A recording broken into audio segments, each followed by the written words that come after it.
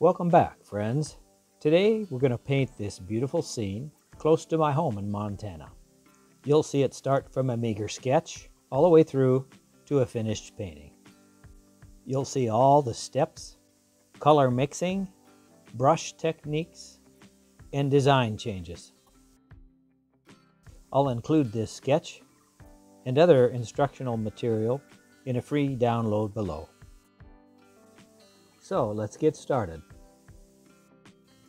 Although this is a beautiful scene, I thought this barge of rocks here was taking up way too much of the scene. I also thought there could be a little more pretty blue water coming down in through here.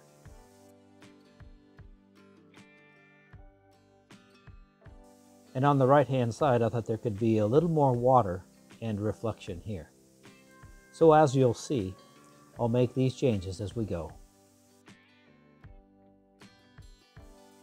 First, I lubricate the canvas with a medium called Liquin. This also helps speed up the drying process of the oil. The main purpose, however, is to help the colors blend together in the sky. This is a mixture of cerulean blue and ultramarine blue together. The cerulean has a little more turquoise color to it. The sky will get more turquoise-like and lighter as it gets closer to the horizon. Thus I add a little white also. As you can see, the mountains in the background are very light blue. Of course I do this with ultramarine blue and titanium white. A tiny bit of alizarin crimson makes a very light violet color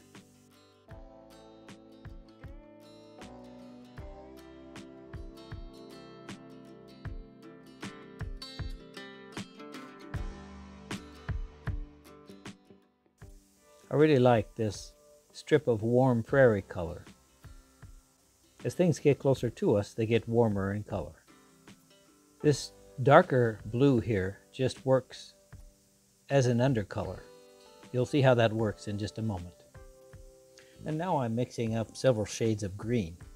Three shades to be exact.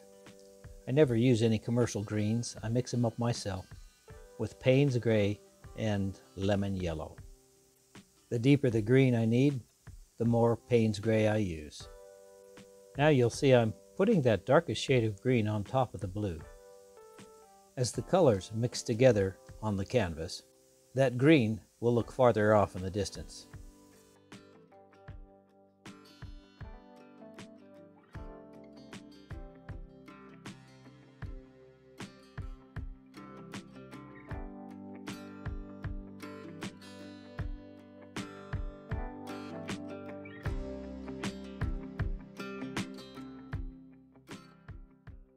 I'm just adding a little bit of burnt umber for the tree on the right, just to add some variety. It also helps that tree look a little bit closer because of the warmer color. A little more blue in those distance trees helps with some of the shadows.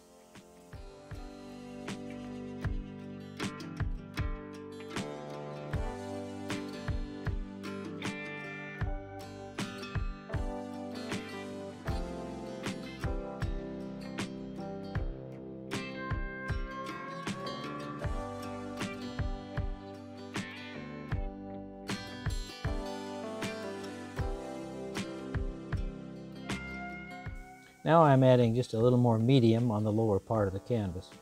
This not only helps the colors blend together, but it also helps me work the color into the canvas, which is important for these undercolors. Now as you can see, the warmer color helps us visualize things closer to us. Now you'll see I'll be mixing all kinds of warmer colors together. The rest of the way down the canvas, I'm just blocking in preliminary colors and I want to work these into the canvas as deep as I can. You see how these warmer colors push those mountains way off in the distance. I'm making a very strong violet color by mixing Payne's Gray and Alizarin Crimson. It works very well for deep shadows.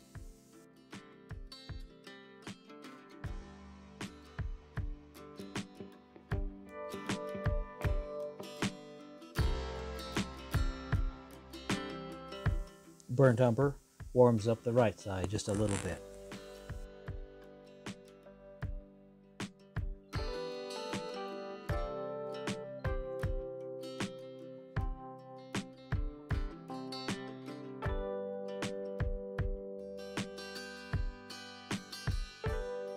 Here you can see how well that violet color works in the deep shadows. We never want to use straight black, it's just too flat.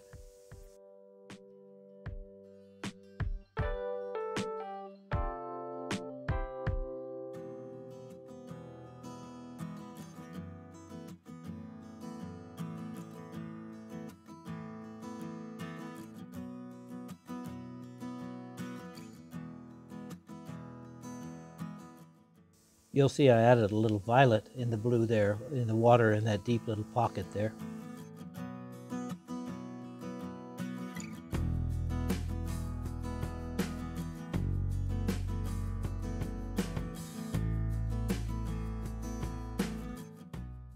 Now with a clean brush, I'm just working it into the canvas with little circular motions as, as well as I can. This really helps the next stage of paint stick to the canvas. That's also a, a, clean brush on the tops of those trees. Just kind of blurring them out just a little bit so they, they don't have such sharp edges.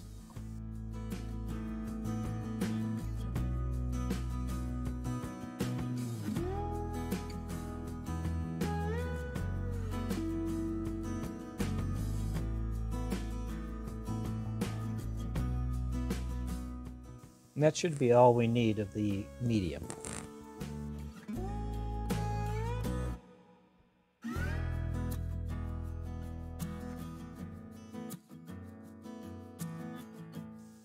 You'll see me mixing reds and greens together. This uh, makes a great early fall color, as opposed to the bright spring green colors you'll see in the springtime.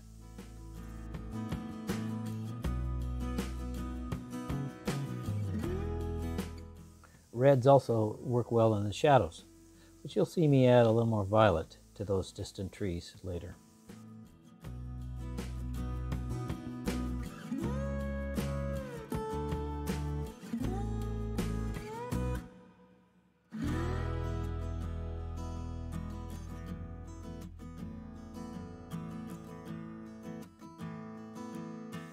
See how a little more white in that green really helps it pop.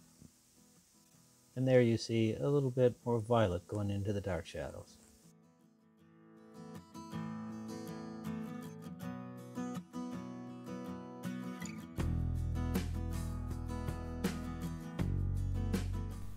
You can see here how easy it is to cover over the undercolor.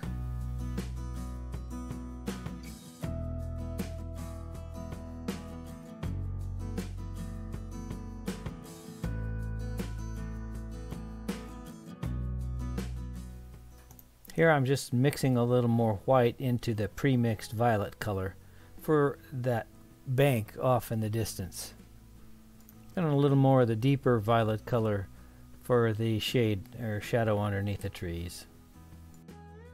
This shadow color here is a mixture of the deepest violet color and the deepest green color that we've already mixed up.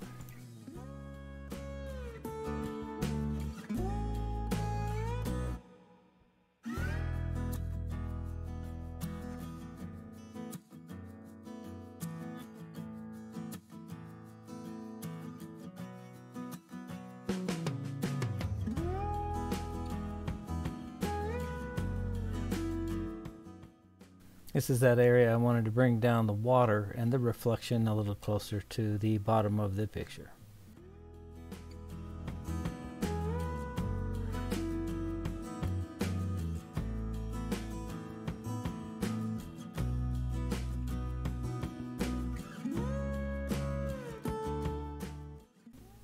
I've added a little burnt umber to the deeper violet color, possibly a little more white.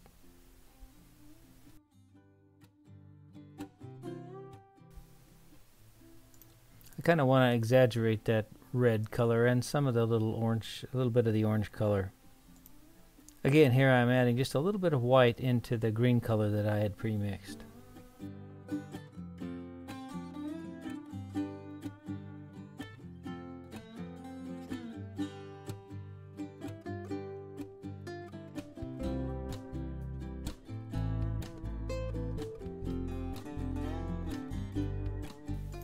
Here with the palette knife scraping is just a good example of how we can change something very simple.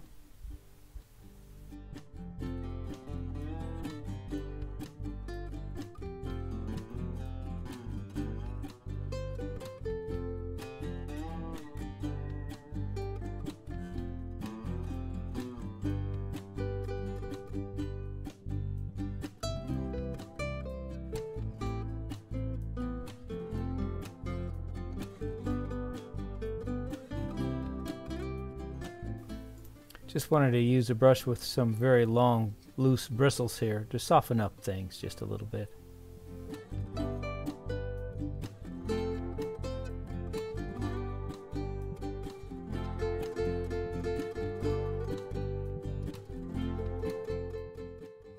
A little more detail with just the very edge of the uh, palette knife.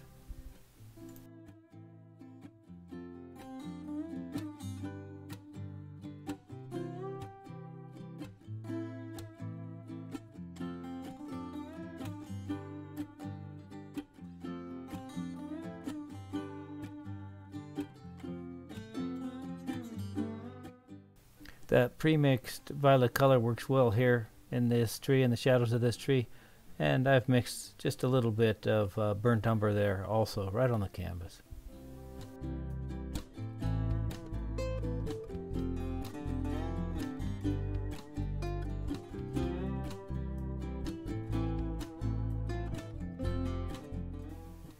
Here I wanted to slow things down a little bit as we work on the foreground.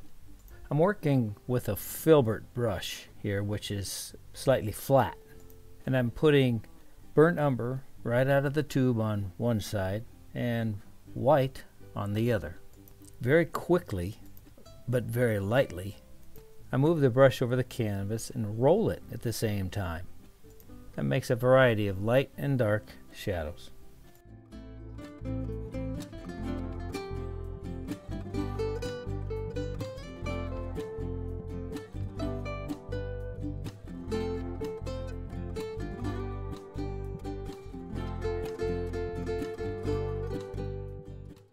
Since now we're putting thick paint on top of thick paint, the colors quickly mix together.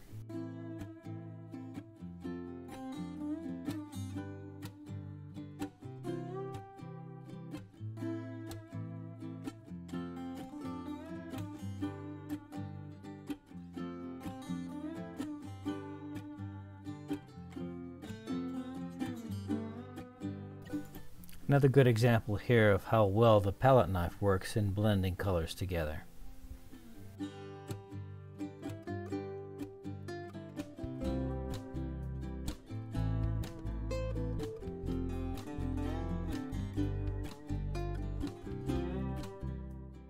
As the water starts to come closer to us, I'll start making it a darker blue.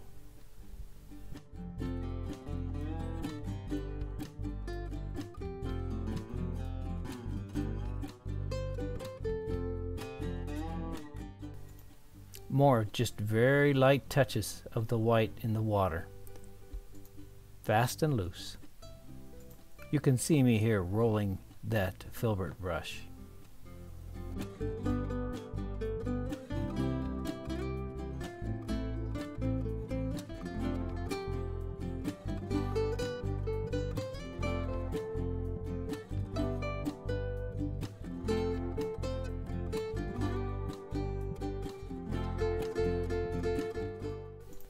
And a little bit more blending with the palette knife.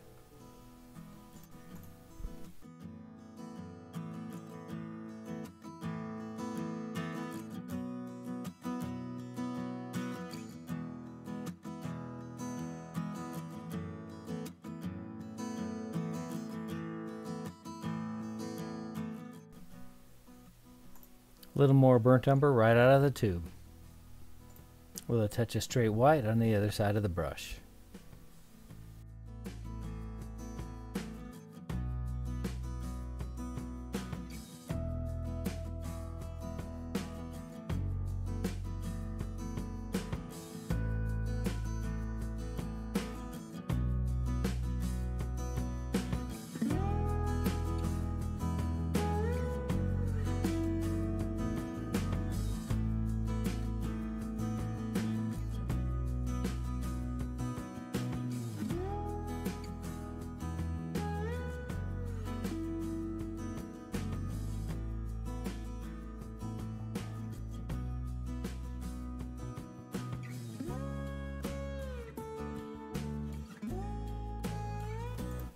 Notice here that since there's already pretty thick paint on the canvas, when I put a color that is pure right out of the tube, when I get it onto the canvas it mixes and blends quite well.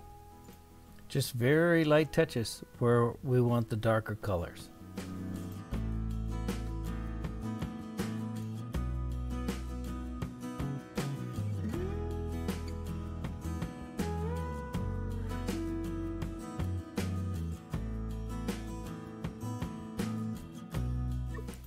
It's very easy to want to put too much detail in the foreground. Keep it loose.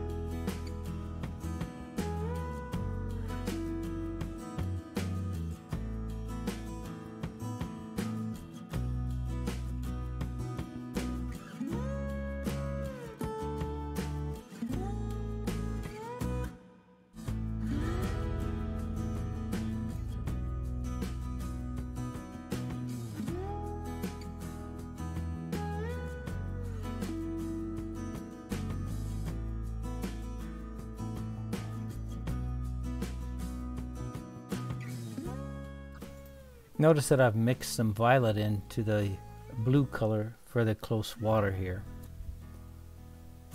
Fast and loose strokes makes it look like the water's moving.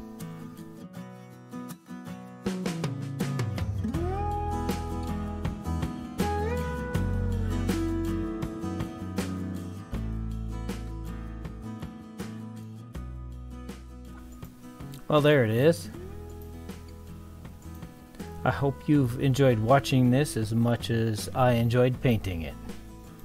Help other artists find this video by clicking that like button. I'm Stephen Rathburn. Thanks for watching.